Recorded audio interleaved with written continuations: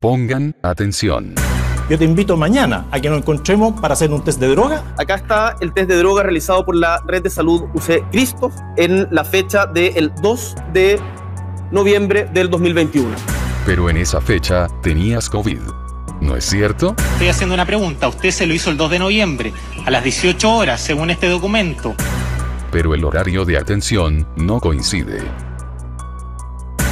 Ese mismo día usted dijo a través de redes sociales que inició un aislamiento preventivo por síntomas asociados al COVID-19.